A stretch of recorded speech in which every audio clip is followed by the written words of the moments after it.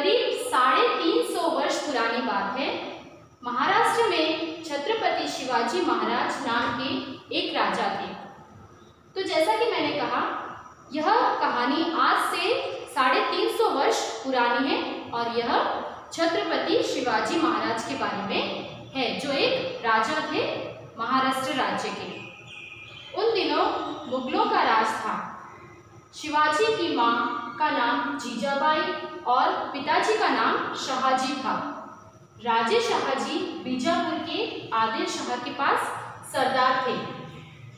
तो यह यह कहानी मुगलों के समय की है, जब मुगलों का राज हुआ करता था और उस समय शिवाजी की माँ के बारे में बताया गया है कि शिवाजी का नाम, माँ का नाम जीजाबाई था और उनके पिताजी का नाम शाहजी था।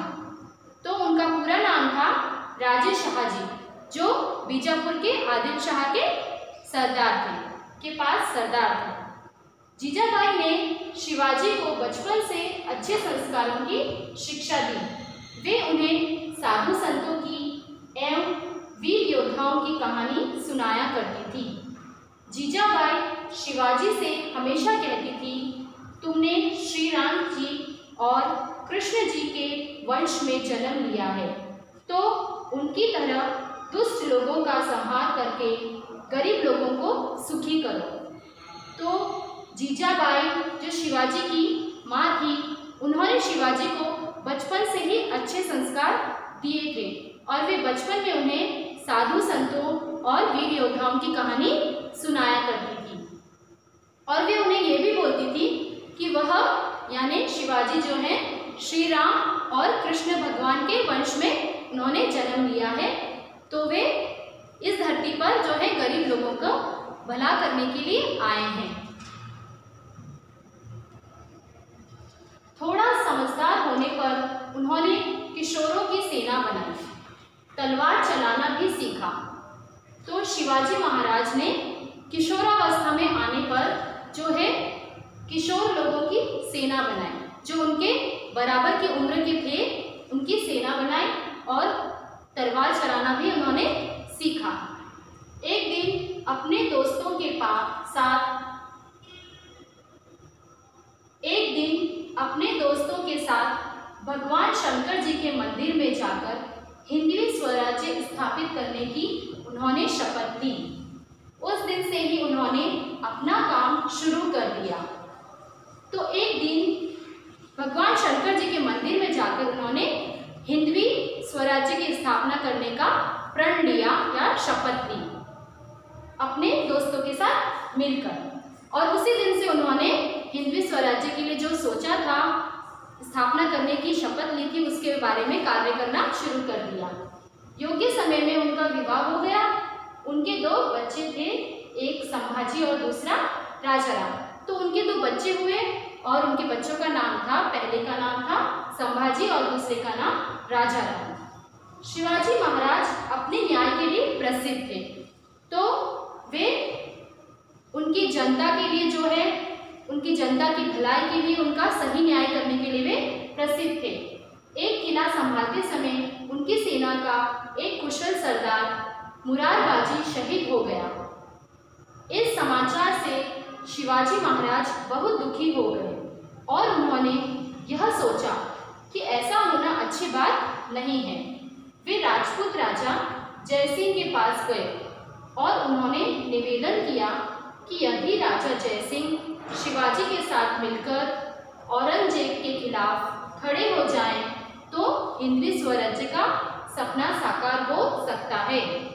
उस समय चालक जयसिंह ने अपनी बातों से शिवाजी को प्रभावित किया और संधि करने का प्रस्ताव रखा।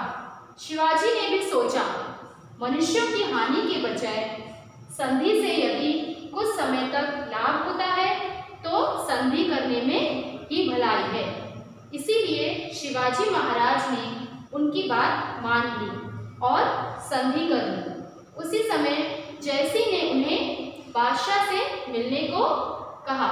तो यहाँ पर इस पैराग्राफ में देख सकते हैं कि एक किला संभालते संभालते जो है उनकी सेना का एक कुशल सरदार जिसका नाम था मुरारबाजी वो शहीद हो गया। तो इस समाचार से वे जो शिवाजी राजा बहुत ही दुखी हुए। तो इस कारण उन्होंने ऐसा न हो जनता की भलाई के लिए उन्होंने राजपूत राजा जिसका नाम था जय सिंह उनके साथ संधि करने की सोची। तो वे राजपूत राजा जय सिंह के पास गए और उनके साथ उन्होंने संधि कर ली।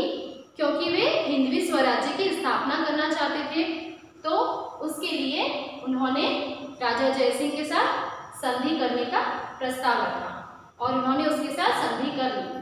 फिर संधि के बजाय वे राजा जयसिंह जो हैं, उन्हें शिवाजी महाराज को जो है, वे ले गए औरंगज़ेब बादशाह के पास। यहाँ देख सकते हैं, उसी समय जयसिंह ने उन्हें बादशाह से मिलने को कहा। तो वे बादशाह औरंगज़ेब है। बादशाह का नाम है औरंगज़ेब, जो एक मुगल राजा थे।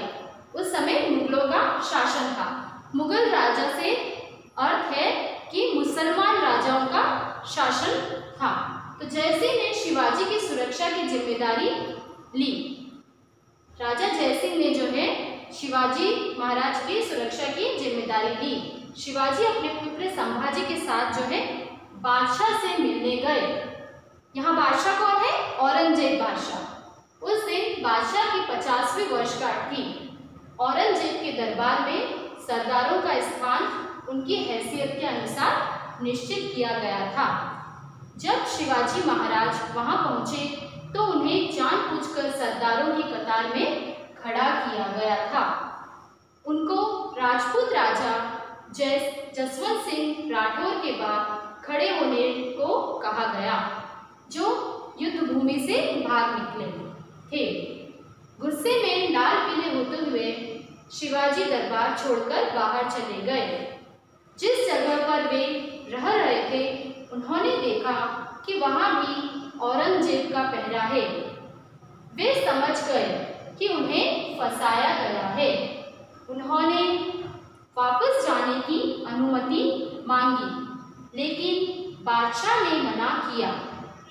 उन्होंने सोचा कि किसी भी तरह बाहर निकलना ही होगा, इसीलिए उन्होंने अपने साथ लाए हुए लोगों को वापस भेज दिया। केवल अपने पुत्र संभाजी और हिरोजी फर्जर तथा मदारी मेहतर इन दो सेवकों को अपने साथ रखा। तो वे राजा बादशाह औरंगज़ेब के पास पहुँचे। उस दिन उनकी पचासवीं वर्षगांठ थी। तो औरंगज़ेब ने, जो है शिवाजी महाराज को सरदारों के साथ कतार में खड़े रहने के लिए कहा। और उसके बाद जो है, उन्हें राजपूत राजा जसवंत सिंह के बाद खड़े रहने के लिए कहा जो कि राजपूत राजा जसवंत सिंह जो कि युद्ध भूमि से बाहर निकले थे वे बहुत ही कायर थे तो शिवाजी को जो है बहुत ही गुस्सा आ गया यह सोचकर कि कि उनकी कोई भी जो है वैल्यू नहीं है इसीलिए तो उन्होंने देखा कि औरंगज़ेब का वहाँ जो गुस्से से वे दरबार से बाहर निकल गए तो उन्होंने देखा कि वहाँ पर भी, जहाँ पर जिस जगह पर वो गए थे, रुके थे दरबार के बाहर, वहाँ पर भी औरंगज़ेब का पहरा था। तो वे समझ गए कि अब वे जो है फंस चुके हैं। उनके ऊपर जो है पहरा लगाया गया है। वह अब बादशाह औरंगज़ेब के जाल में फंस, जो है वे फंस चुके हैं। तो वे जो है, उन्होंने अपने पुत्र संभाजी और हिरोजी फरजत को और जो दो सेवक थे, जिनका नाम है हिरोजी फरजत और मदारी मेहतर को, सेवकों को सिर्फ़ अपने साथ रखा और उनके साथ जो बाकी लोग बादशाह के दरबार में आए थे, उन लोगों को वापस भेज दिया। उन्होंने कैद से छूटने के लिए एक तरकीब सोची। तो वे अब समझ चुके थे कि वे औरंगज़ेब बादशाह की कैद में हो गए हैं तो उन्होंने अब कैद से छूटने के लिए तरकीब सोची? उन्होंने बीमारी का नाटक किया और मिठाई के टोकरे दान करने की औरंगज़ेब से अनुमति ली। इसके बाद कई दिन तक मिठाइयाँ बाहर जाती रही। एक दिन मौका देखकर दोनों बाप बेटे शिवाजी और संभाजी मिठाई के टोकरों से, टोकरों में बैठकर कैद से बाहर निकले। उनके दो सेवक भी किसी तरह बहाना बनाकर भाग गए। इस खबर से औरंगज़ेब पछताए। तो वे अब औरंगज़ेब की कैद में थे शिवाजी महाराज। तो उन्हें एक तरकीब सूझी कि उन्होंने बीमारी का बहाना बनाया और बीमारी का बहाना लेकर उन्होंने कुछ मिठाइयाँ जो है टोकरों में भरकर दान करने की सोची। तो टोकरों में जब मिठाइयाँ बाहर जाने लगी तो एक दिन क्या किया? उन मिठाइयों के टोकरों में अपने बेटे और खुद को छुपाकर उस बहाने से, मिठाई के टोकरे के में बैठकर जो है, बहाने से उनकी कैद से जो है वे निकल गए और जाकर अपने दरबार में, अपने राज्य में वे चले गए। और वे वापस से, जैसा कि यहाँ बताया गया है, और जब ये बात, ये खबर औरंगज़ेब को मिली तो वे औरंगज़ेब बहुत ही पछताए। और जैसा यहाँ देख सकते हैं, शिवाजी ने अपने राज्य में वापस आकर मोर्चा संभाला। इसीलिए शिवाजी महाराज को लोग हमेशा याद कर रखते हैं, क्योंकि उन्होंने मुगलों के हाथ से राज्य लेकर उस पर अपना कब्जा किया और हिंदवी राज्य की स्थापना की। तो इस तरह से शिवाजी औरंगज़ेब की कैद से बाहर निकल गए और उन्होंने अपने राज्य में जाकर मोर्चा संभाला और मुगलों के हाथ से भी राज्य लेकर उस पर शासन करने लगे उन राज्यों पर। और इस तरह से इसीलिए शिवाजी महाराज को उनकी बहादुरता के लिए और मुश्किल परिस्थितियों में कट, जो है कठिनाई का सामना करते हुए आगे बढ़ते जाना और जीत हासिल करना, करने के लिए उन्हें हमेशा याद किया जाता है शिवाजी महाराज को। तो वे महाराष्ट्र के, जो है, महाराज हुआ करते थे आज से साढ़े तीन सौ साल पुराने। पहले की बात ही है और इस तरह से उन्होंने बहुत ही बहादुरीता के साथ हिंदवी राज्य की स्थापना की मतलब कि मुगल राज्यों में जो है मुसलमान राज्यों का शासन हुआ करता था तो मुसलमान शासकों को हराकर जो है उन पर राज्य स्थापित किया, और हिंदू, हिंदवी मतलब कि हिंदू राज्यों का शासन हुआ, हिंदू धर्म का, के राजा लोग राज करने लगे। आइए हम देखते हैं तो आप यह पाठ समझ चुके होंगे। अब शब्दार्थ है। शब्दार्थ में देखते हैं संस्कार। संस्कार का अर्थ है आदतें। अच्छी आदतें गुड हैबिट्स जिसे इंग्लिश में बोलते हैं गुड हैबिट्स योद्धा। योद्धा मतलब युद्ध करने वाला। वर्षगांठ। यहाँ पर गलत लिखा हुआ है। वर्षा गार्ड नहीं बोलते हैं। वर्ष गार्ड बोलते हैं। आका, डंडा यहाँ पर नहीं आएगा। श के ऊपर र आएगा। वर्षगांठ, यानी सालगिरह। आप जन्मदिन मनाते हैं तो हर साल सालगिरह आता है ना? जन्मदिन आता है हर साल तो उसे ही वर्षगांठ बोलते हैं। अभी मुहावरा देखते हैं, हाथ मलना, यानी देखते ही रह जाना। जैसे कि औरंगज़ेब जो है, औरंगज़ेब देखते ही रह गया था, जब शिवाजी महाराज जो है, उनके कैद से मुक्त हो गए थे। पछताना? टू रिपीटेंट न्योता देना मतलब निमंत्रण देना। किसी को आप अपना बर्थडे होता है तो निमंत्रण, आमंत्रण देते हैं तो उसे बोलते हैं निमंत्रण देना, न्योता देना। तो अब देखते हैं, हमने पाठ को समझ ही लिया है। अब स्वाध्याय के अंदर बच्चों, विलोम शब्द हैं। तो कुछ मैं विलोम शब्द आपको समझाने वाली हूँ, वो आप ध्यान से सुनिए। यहाँ पर जैसा आप देख सकते हैं, विलोम शब्द पर, ऊपर, नीचे, अंदर, बाहर, दूर, पास। तो ये विलोम शब्द हैं। विलोम शब्द में आप देख सकते हैं, अंदर, बाहर, ऊपर, नीचे, दूर, पास आदि विलोम शब्द हैं। जैसा कि इस पिक्चर में दिखाया गया है, एक मेज है और मेज के ऊपर एक किताब रखी हुई। तो हम मेज के ऊपर नहीं बोलेंगे, विलोम शब्द में क्या आएगा? पर। मेज पर किताब है। तो पर का विलोम है नीचे, या ऊपर का विलोम होता है नीचे। पर यहाँ पर मेज के ऊपर नहीं बोलेंगे हम, पर बोलेंगे। मेज पर किताब है। ऊपर हम कब बोलेंगे? जब मेज के जो बीच में गैप छूटा है और उस गैप के ऊपर कोई चीज़ लटकी हुई है या ऊपर दिखाई देती है तो हम ऊपर शब्द यूज़ करेंगे। जैसा कि आप यहाँ पर देख सकते हैं तो पर का विलोम है नीचे, कुर्सी के नीचे चूहा है। यहाँ इस पिक्चर में देख सकते हैं, चित्र में, कि कुर्सी के नीचे चूहा है। तो ऊपर विलोम, ऊपर का विलोम शब्द है नीचे, या फिर पर का विलोम शब्द है नीचे। यहाँ पर भी देख सकते हैं, मेज के ऊपर बल्ब लटका है, ऊपर का विलोम शब्द नीचे। पिंजरे के अंदर पंछी है इस चित्र में आप देख सकते हैं कि पिंजरा है पिंजरे के अंदर एक पंछी बैठा हुआ है। तो अंदर अंदर शब्द का विलोम है बाहर। इस चित्र में देख सकते हैं घर। घर के बाहर बगीचा है। तो घर के बाहर बगीचा है। अंदर शब्द का विलोम है बाहर।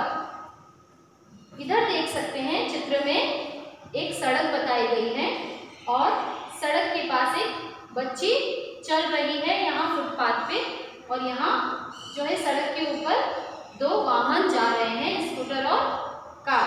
तो नेहा के पास से स्कूटर जा रहा है। ये नेहा है, ये एक लड़की है जिसका नाम नेहा है, उसके पास से स्कूटर जा रहा है और थोड़ी दूर से कार जा रही है। तो आप ये कार को दूर देख सकते हैं। ये नेहा के बहुत दूर है और ये स्कूटर नेहा के पास है।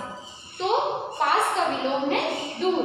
नेहा के पास से स्कूटर जा रहा है और थोड़ी दूर से कार जा रही है तो पास शब्द का विलोम है दूर तो आपने अभी समझ गए होंगे मैंने ऊपर नीचे या पर नीचे अंदर बाहर और पास और दूर का विलोम शब्द बताया है तो बच्चों आप आशा करती हूँ अच्छे से समझ गए होंगे और इसी के अनुसार मैं अभ्यास पुस्तिका में जब मैं होमवर्क में देती हूँ तो आप कीजिएगा। धन्यवाद।